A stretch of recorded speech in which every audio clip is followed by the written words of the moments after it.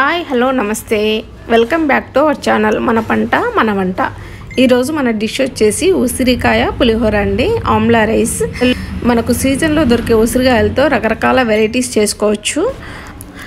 ఉసిరికాయ పులిహోర నిమ్మకాయ పులిహోరకి చింతపండు పులిహోరకి భిన్నంగా ఉంటుందండి. చాలా వెరైటీగా ఉంటుంది టేస్ట్ కూడా చాలా బాగుంటుంది. ఉసిరికాయలు దొరికే సీజన్లో మనం పికిల్స్ చేసి పెట్టుకున్నామనంటే నిల్వ ఉంటాయి ఉసిరికాయలు దొరికే సీజన్లో మనం డైలీ జ్యూస్ చేసుకొని తీసుకున్నామనంటే మన శరీరానికి కావాల్సిన సి విటమిన్ ఐరన్ కాల్షియం పుష్కలంగా ఉంటుందండి. డైలీ ఏదో ఒక రూపంలో యూస్ చేయడానికి ట్రై చేయండి.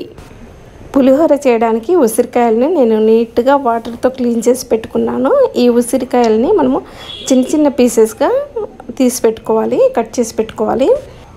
ముక్కల్ని కట్ చేసిన తర్వాత ఈ గింజలు మిగిలిపోతాయి కదండి. వీటిని ఎలా యూస్ చేయాలి అనేది నేను వీడియో ఎండింగ్లో చెప్తాను. ఉసిరికాయలో ఏది వేస్ట్ చేయకూడదు ప్రతిదీ మనకు యూజ్ అవుతుంది కాబట్టి వీటిని ఎలా యూస్ చేయాలనేది ఎండింగ్లో చెప్తాను. నేను వీడియోలో చూపించినట్టుగా ఇలా కట్ చేసుకొని పక్కన పెట్టుకోవాలి. ఇప్పుడు ఈ ఉసిరికాయ ముక్కల్ని మిక్సీ జార్లో వేసుకొని కొంచెం కచ్చా పక్కగా మనం బ్లెండ్ చేసుకోవాలి. ఇలా బ్లెండ్ చేసుకున్న తర్వాత నేను ఇక్కడ ఆరు పచ్చిమిరపకాయలు కొద్దిగా సాల్ట్ వేసి మళ్ళీ ఒకసారి బ్లెండ్ చేశాను. చేసి ఆ పేస్ట్ని పక్కన పెట్టుకున్నాను.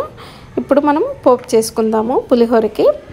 ముందుగా ఒక ప్యాన్ పెట్టుకొని అందులో టూ టేబుల్ స్పూన్స్ ఆయిల్ వేసాను ఆయిల్ వేడెక్కిన తర్వాత ఒక టేబుల్ స్పూన్ పల్లీలు ఒక టేబుల్ స్పూన్ శనగపప్పు హాఫ్ టీ స్పూన్ ఆవాలు హాఫ్ టీ స్పూన్ జీలకర్ర వేసి కాస్త ఫ్రై అయిన తర్వాత ఆరు ఎండుమిరపకాయలు ఆరు పచ్చిమిరపకాయలు వేసి ఫ్రై చేసుకోవాలి. లైట్గా కలర్ చేంజ్ అయ్యే వరకు ఫ్రై చేసుకోవాలి. సిమ్లో పెట్టి ఫ్రై చేసుకుంటే కొంచెం నిదానంగా ఫ్రై చేసుకుంటే మంచి అరోమా వస్తుందండి. ఇవి ఫ్రై అయ్యేటప్పుడు ఈ పప్పులన్నీ ఫ్రై అయ్యేటప్పుడు మంచి అరోమా వస్తుంది. అంతవరకు మనం ఫ్రై చేసుకుని అందులో చిన్న అల్లం ముక్కను మనం ఇలా గ్రేట్ చేసి వేసుకోవాలి.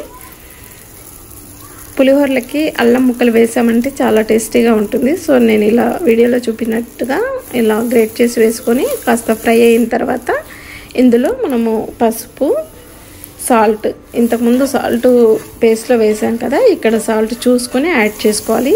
ఇవి కాస్త రోస్ట్ అయిన తర్వాత కరివేపాకు వేసి ఫ్రై చేసుకోవాలి. ఇవంతా ఫ్రై అయిన తర్వాత మనం ఉసిరికాయ పేస్ట్ ఉంటుంది కదా చేసి పెట్టుకున్నాం కదా అది వేసి అందులో వచ్చి తడి అంతా పోయే వరకు మనం ఫ్రై చేసుకోవాలి.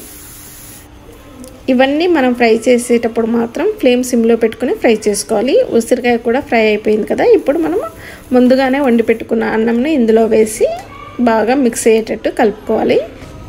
సాల్ట్ చెక్ చేసుకుని వేసుకోవాలి. అంతే ఉసిరికాయ పులిహోర రెడీ అయిపోయింది. మనకు నిమ్మకాయ చింతపండు పులిహోర కంటే ఇది చాలా వెరైటీగా ఉంటుందండి. ఒక్కసారి ట్రై చేయండి. కానీ సీజన్లో మాత్రం కంపల్సరీ చేసుకోవడానికి ట్రై చేయండి. చూసారుగా? మంచి కలర్తో ఎమ్మి ఎమ్మిగా ఉసిరికాయ పులిహోర రెడీ అయిపోయింది. మీరు ట్రై చేసిన తర్వాత మీకు ఎలా వచ్చింది అనేది నాకు కామెంట్ సెక్షన్లో షేర్ చేయండి. ఇందాక మనము ఉసిరికాయను కట్ చేసినప్పుడు గింజలు మిగిలిపోయాయి కదా వాటితో నేను జ్యూస్ రెడీ చేస్తున్నానండి. అది కూడా మీకు చూపిస్తాను. ముందుగా మనం ఒక హాఫ్ లీటర్ వాటర్ తీసుకొని అందులో మనం కట్ చేసుకున్న గింజలు ఉన్నాయి కదండి. ఉసిరికాయ ముక్కలు కట్ చేసిన తర్వాత మిగిలిన గింజలు ఉన్నాయి కదా వాటిని ఇలా ఆ వాటర్లో వేసి మరిగించుకోవాలి. మనకు ఒక టెన్ మినిట్స్ ఫిఫ్టీన్ మినిట్స్ అట్లా మరిగించుకుంటే వచ్చిన వాటర్ని మనం జ్యూస్ లాగా చల్లారిన తర్వాత అందులో సాల్ట్ వేసుకున్నా తేనె వేసుకున్నా అది మీ ఇష్టం అండి.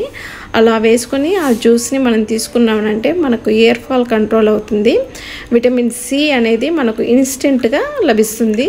సో ఇలా నేను చూపించినట్టు ఈ జ్యూస్ కూడా మీరు డైలీ యూస్ చేయడానికి ట్రై చేయండి. ఈ వీడియో మీకు నచ్చిందా? నచ్చితే లైక్ చేయండి కామెంట్ చేయండి మీ ఫ్రెండ్స్కి షేర్ చేయండి. Thank you.